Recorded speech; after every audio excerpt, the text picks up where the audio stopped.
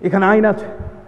কিন্তু হজরতে ওয়াস করেনি নবীজি নিজের জামা মোবারক যার কাছে পাঠিয়ে দিয়েছিলেন ওয়াস যিনি খাইরুত তাবিন তাবিনদের মধ্যে রসুল সাহাবিকে যারা দেখেছেন, তার চেয়ে এই সমস্ত ব্যক্তিদের মধ্যে অন্যতম ব্যক্তি খাইরুত তাবিন যাকে বলা হয়েছে। নবীকে দেখে নাই, নবীর সাহাবিদেরকে দেখছেন। এই সাহাবিদেরকে যারা দেখছেন, তাদের মধ্যে শ্রেষ্ঠ হলেন কে? হজরতে ওয়াসকারনি যে ওয়াসকারনির জন্য নবীজি নিজের জামা পাঠাই দিয়েছিলেন। সাহাবিদের বলেছিলেন, রে সাহাবিরা ওয়াসকারনি আমাকে মহব্বত করেছে, তোমরা আমার জামাটা তাকে দিয়ে দিও। সাহাবা ইকরাম বলেন, হুজুর, সে তো আপনার কাছে এসে কালেমা পড়ে নাই, নিজে নিজে মুসলমান হয়েছে। নবীজি বলেন, ওর আসার দরকার নাই, ও তো মায়ের খেদমতে ব্যস্ত ছিল। মায়ের খেদমত করেছে, এই জন্য আমার কাছে আসে নাই, এই জন্য আমি অখুশি নই, আমি তার উপরে খুশি আছি। মায়ের খেদমত করেছে মাস করেনি মায়ের খেদমত করার কারণে আমার কাছে আসতে পারে নাই। আল্লাহর নবী বলেন, যাও আমার ভালোবাসায়। আমি নবীর একটা দাঁত উহুদের ময়দানে ভেঙে গেছে। আর সেই একটা দাঁতের বদলায় সে তার গোটা মুখের মধ্যে বত্রিশটা দাঁতের একটা দাঁতও রাখে নাই। ভেঙে ফেলছে কয়টা? বত্রিশটা দাঁত। তাহলে বলো, দুনিয়ার মধ্যে আজ পর্যন্ত কেউ এর উপরে ফতুয়া দিয়েছে কিনা? তোমরা নিজেরা বলো যে ওয়াসকারণী দাঁত ভাঙলেন নবীর মহব্বতে। এটা কতটুকু গুণা হয়েছে? গুনায় কবিরা হয়েছে? না নবীর মহব্বতে ওয়াসকারণী খাইরুত তাবিনের মর্যাদা পেয়েছেন কোনটা? খাইরুত তাবিনের মর্যাদা তিনি পেয়েছেন। অতএব অতএব ভালোবাসার ক্ষেত্রে তোমরা কখনো আমাদেরকে কাটছাট করো না। আমরা ভালোবাসায় দাঁড়িয়ে যাই। ইয়ানবী সালাম আলাইকা, না বললে এসকের আগুন জ্বলে না। এসকের আগুন জ্বলতে গেলে ইয়ানবী সালাম আলাইকা বলতে হয়। ওই গহর ডাঙ্গার, ওই গহর ডাঙ্গার ফরিদপুরি, তোমরা তার ইতিহাস দেখো। উনি তাসাউফ তত্ত্ব কিতাব লিখেছেন। তাসাউফ তত্ত্ব কিতাবের সাতাশ পৃষ্ঠায় তিনি উল্লেখ করেছেন যে, নবীর মোহাম্মতে ইয়া নবী, সালাম আলাইকা, না বললে আশেক যারা তাদের এশকের আগুনেই জ্বলে না। তাহলে এশকের আগুন জ্বলে না লা- ইয়া নবী সালাম আলাইকা না বললে, আর তোমরা? তোমাদের তো মুরব্বী। তোমাদের তো আসল। তাহলে ওনাকে কি বলবে যে উনি পাগল হয়ে গেছে, উনি বেদাতি হয়ে গেছে? তোমরা তো একটুতেই বেদাতি, দাঁত নাই কইয়ে ফেলো। কথা বুঝে গেছে? নবীর শান, নবীর মান, নবীর ইজ্জাত, নবীর হুরমাত, নবীর সম্মান, নবীর মর্যাদা। আল্লামা কাজী আয়াজ রহমতুল্লাহ আলাই তিনি তার শিফা নামক কিতাবে রেখেছেন ওয়ালাম আন্না হুরমাতান নবী সাল্লাল্লাহু আলাইহি ওয়াসাল্লাম বাদা মাউতিহি কামা কানা ফি হায়াতিহি।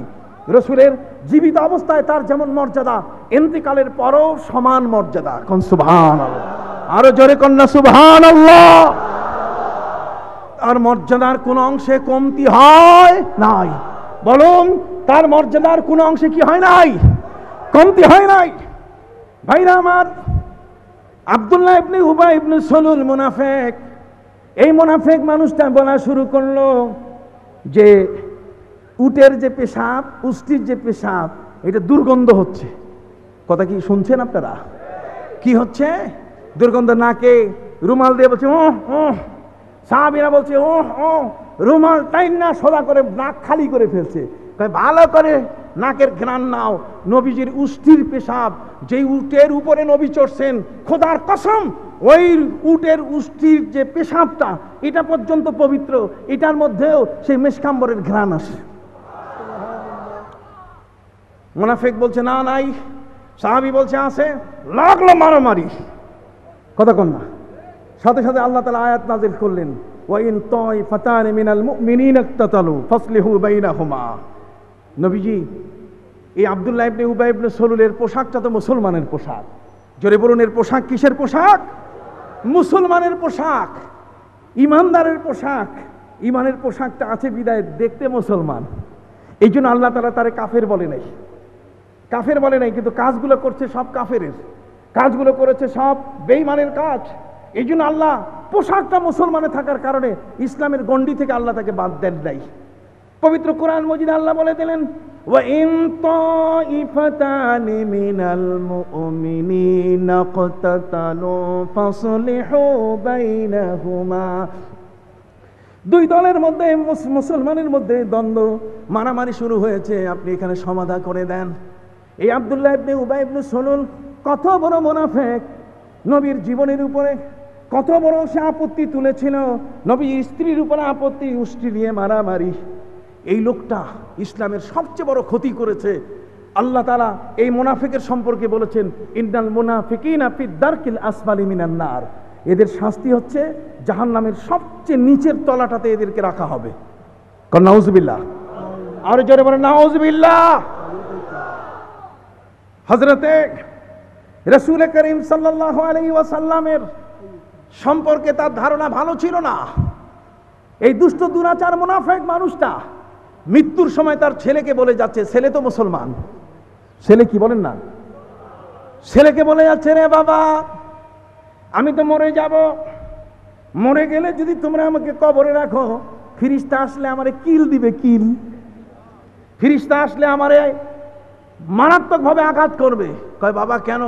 কয়, গোটা জীবন নবীর সাথে যে বেয়াদবি করছি কবরে গেলে ফিরিস্তার আমার টুটি চিপে ধরবে, থাপ্পড় মারবে, আমার অবস্থা কাহিল করবে। কাজেই এটা বাসার একটা পথ করতেছি, তুমি ব্যবস্থা করে দিও।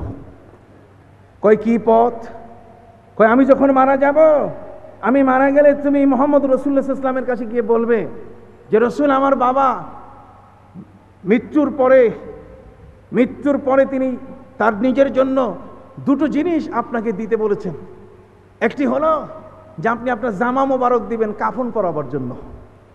আর জানাজার নামাজটা আপনি পড়াই দিবেন। ছেলে জিজ্ঞাসা করে, বাবা, জীবন ভরা মোনাফিকি করলেন, জীবন ভরা নবীর পরিবারকে আপনি কষ্ট দিলেন। মুসলমানের মধ্যে ডিভিশন তৈরি করতে আপনার ভূমিকা কোনো অংশে কম নয়। রে বাবা, আপনার মৃত্যুর পরে নবীর কাছে গিয়ে জামা চাবো, শেষ পর্যন্ত জামা দিয়ে করবেন কি? মোনাফিক বাবা সে বলছে, জামা দিয়ে করব মানে? তুমি নবীর জামাটা আমার গায়ে পরাই দিও। কবরের মধ্যে আমাকে দাফন করলে ফিরিস্তা যখন আসবে, মার রব্বুকা, তোমার প্রভুকে। আমি ফিরিস্তাকে উল্টা জিজ্ঞাসা করব, কও তোমার প্রভুকে?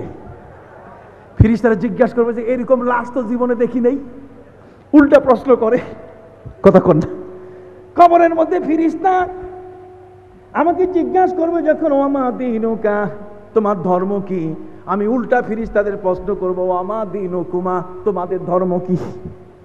কতক্ষণ? না ছেলে জিজ্ঞাসা করে, আবদুল্লাহ জিজ্ঞাসা করে রে বাবা, ওই খবরের মধ্যে তুমি ফিরিস্তাদের সাথে তর্ক করবে, ফিরিস্তারা যদি কিল দেয় তোমারে তোমারে যদি আঘাত করে তখন বাঁচবে কেমনে? আবদুল্লাহ ইবনে উবাই ইবনে সলন মোনাফিকটা বলছে, রে ছেলে, তুমি জানো না, যদি মোহাম্মদ রসুলের জামাটা আমার গায়ে দিয়ে দাও এটা এত বড় সাইনবোর্ড, আমি ফিরিস্তাদেরকে ধরে বলব রে ফিরিস্তা গেট আউট সর কবর থেকে। ফিরিস্তার জিজ্ঞেস করে কেন? দেখো না, সাইনবোর্ড আছে, আমি মোহাম্মদ রসুল্লার এক নম্বর ভক্ত, জামা আছে আমার গায়ে। কাজী, প্রশ্ন নাই, চলো, তোমরা যদি আমাকে প্রশ্ন করব, তো উল্টা প্রশ্ন করব, তাড়াতাড়ি ভাগো। ফিরিস্তাদেরকে হাইকোর্ট দেখাবার জন্য নবীর জামা দরকার। কথা বুঝতে পারছেন? জানাজা যদি পড়াই দেন তিনি তাহলে সেই জানাজা পড়াই দিলে ওই জানাজা আমি আমার জীবনের জন্য রেকর্ড হয়ে থাকবে। ফিরিস্তাদের বলব, দেখো, আমি তো এক নম্বর মুসলমান জীবন ভরে আমি নবীর গোলামি করেছি। তার প্রমাণ হলো আমি জামা পাইছি, জানাজা পাইছি। নবী আমার জামা, তার জামা দিয়েছেন আমাকে এবং কি দিয়েছেন বলুন? জানাজা দিয়েছেন। তাহলে জামা আর জানাজা দুইটাই। কথা কি খেয়াল করছেন? ঠিক ওই মুহূর্তে ফিরিস্তাদেরকে আমি এভাবে ঠেকাবো? ওদিকে নবী করিম ইসলামের কাছে খবর এসে গেল, আবদুল্লাহ ইবনে উবাই ইবনে সলুল মোনাফিক মারা গেছে। ছেলে এসে বলছে, নবীজি, আমার বাবা আবেদন করেছে আপনার জামা মোবারক দিতে। আবেদন করেছে আপনার জানাজা, আপনি আপনি একটু জানাজা দিবেন। নবীজি বললেন, ঠিক আছে। চলো। সাহাবিদের তিনি ডাকা শুরু করলেন, রে সাহাবিরা, আবদুল্লাহ ইবনে উবাই ইবনে সলুল, ওই যে বুড়া মানুষটা মসজিদের পিছনে থাকতো, ওরে বিনা উজুতে নামাজ পড়তো, ওইটা মরছে। চলো জানাজার নামাজ পড়তে যাই। সাহাবিরা নবীর সঙ্গী হলেন। হজরতে উমরে ফারুক রেদি আল্লাহ ত্রানু হাত লম্বা করে তিনি ব্যারিকেড সৃষ্টি করে দিলেন। নবীজি, আপনি যাবেন কই? নবীজি বলছেন, আমি আবদুল্লাহ ইবনে উবাই ইবনে সরুলের জানাজা পড়তে যাব। হজরতে উমর বলছেন, আপনি যাইতে পারবেন না। আপনার মনে নাই? আয়সাকে নিয়ে কি কাণ্ড ঘটাইছে? আপনার মনে নাই উটের পেশাব নিয়ে কি ঘটনা ঘটছে? আপনার মনে নাই এই মোনাফেক কত কষ্ট দিয়েছে আপনাকে? আপনি তার জানাজা পড়তে যাবেন? নবীজি বলছেন, ওমর, এই কথা দিয়ে তুমি আমাকে আটকাতে পারবে না। দলিল দাও যে আমি তার কবরে যেতে পারব না। হজরত উমর কোরআন থেকে দলিল দিয়ে দিলেন, ইস্তাগফির লাহুম আও লা তাস্তাগফির লাহুম। ইন তাস্তাগফির লাহুম 70 মাররাতান ফালাই ইয়াগফিরাল্লাহ হে নবী, আপনি তাদের জন্য দোয়া করেন, আর দোয়া নাই বা করেন। যদি সত্তর বারও দোয়া করেন, বলুন না কতবার? সবাই বলুন কতবার? আল্লাহ কখনো ক্ষমা করবেন? না। কাজে আপনি তার কবরে যেতে পারবেন না। তার জানাজা পড়তে পারবেন না। আপনি তাকে জামা দিতে পারবেন না। ভাইরা আমার, নবী করিম আলাইহি সাল্লাম হযরত উমরকে বলেন, উমর, তুমি বলতেছো কোরআনে বলছে সত্তর বার দোয়া করলেও হবে না। আমি যদি একাত্তর বার দোয়া করি করলে সুবহান আল্লাহ তাহলে দেখেন একটা মুনাফেক, তার জানাজান নামাজে নবীজি যাচ্ছেন। কিন্তু নবী শর্ত দিলেন কত? একাত্তর। কোরআনে আছে সত্তর বার দোয়া করলেও হবে না। আর নবী বললেন কি? তার নবী কি দয়াল নবী নন? রহমতুল্লিল আলামিন কিনা হাত উঁচু করে বলেন, রহমতুল্লিল আলামিন কিনা? ভাইদের খেদমতে আরজ করতে চাই। আমার নবীজি বলেন, উমার, আমি যদি আল্লাহর কাছে দোয়া করি কতবার? একাত্তর বার। আল্লাহ নিষেধ করছেন কতবার? সত্তর বার। বলেন, আমার সাথে কথা বলেন, এদিকে তাকান। কতবার? আল্লাহ বলছেন ইনতাস্তাগফির লাহুম সাবঈনা মাররা। যদি সত্তর বারও দোয়া করেন ফালাইয়াগফির আল্লাহ আল্লাহ কখনোই ক্ষমা করবেন না। নবীজি বলছেন, যদি আমি একাত্তর বার দোয়া করি, হযরত উমর হাত নামাই ফেললেন। উমর দেখলেন, এত বড় দয়াল নবী। কোরআন বলে সত্তর বারও নয়। আর নবী বলেন, আমি একাত্তর বার যদি দোয়া করি। আল্লাহর নবী তিনি চলে গেলেন। যাওয়ার পরে বললেন, রে আব্দুল্লাহ, তোমার বাবার লাশ নিয়ে আসো। আমি আমার জামাটা পরাই দেই। আব্দুল্লাহ বলছে, হুজুর, আনতেছি। আনে আনে না, আনে আনে না, আনে আনে না। লাশ আনতে বিলম্ব হলো। আল্লাহর নবী ধমক দিয়ে বললেন, রে আবদুল্লাহ, লাশ আনো। আমি না হলে নিজেই বের করব লাশ। আব্দুল্লাহ বলেন, হুজুর, মাফ চাই। আল্লাহর নবীর আসার আগে তার লাশটাকে তারা মাটি চাপা দিয়ে গোপন করে ফেলেছে। আল্লাহর নবী যদি আসেন, তাহলে হয়তো বা মোনাফেক হিসাবে তার লাশের তিনি জানা দিবেন না। নবীজি হুকুম দিয়ে যাবেন, একে শ্রীগাল কুকুরের হাতে খাওয়াও। নবীকে তারা মনে করেছেন যে রসুল হয়তোবা এই ধরনের হুকুম দিবেন। আল্লাহর নবী বলছেন, লাশ কোনখানে গোপন করেছ? আমি কিন্তু দেখতে পাচ্ছি। কনসুভার আল্লাহ মাটির তলে তোমাদের লাশ, মায়ের করো।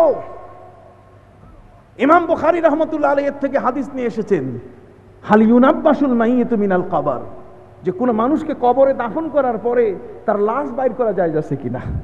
এই যে ময়না তদন্তের জন্য লাশ বের করা হয়, এটার সূত্র কিন্তু এই ঘটনা। কথা কি বুঝতে পেরেছেন? এই ঘটনা থেকে নবীজি বললেন, লাশ বের করো। আমি এসেছি তোমাদের কাছে। আমার জামা তাকে দেব। আমি রসুল এসেছি। অতএব লাশ বের করো। তখন মাটি খুঁড়ে তার মাটি আলাদা করে নূতন করে লাশ আবার বাইর করা হলো। আল্লাহর নবী নিজের জামা মোবারক পরে দিলেন। জানাজার নামাজ পড়ে যখন তিনি শেষ করলেন, তখনই আল্লাহ বলে দিলেন, ওয়ালা তুসাল্লি আলা আহাদিম ওয়ালা তাকুম আলা কাবারি।